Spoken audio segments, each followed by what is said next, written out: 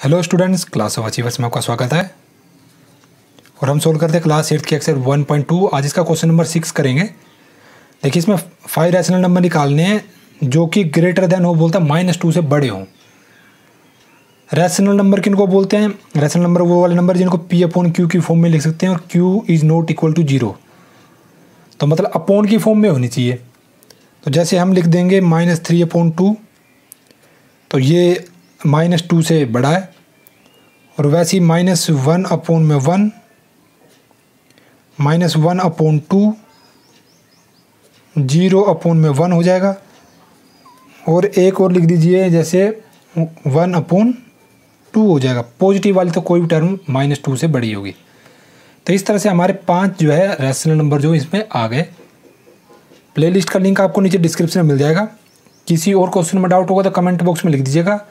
और ये वीडियो देखने के लिए आपका बहुत बहुत धन्यवाद। बाय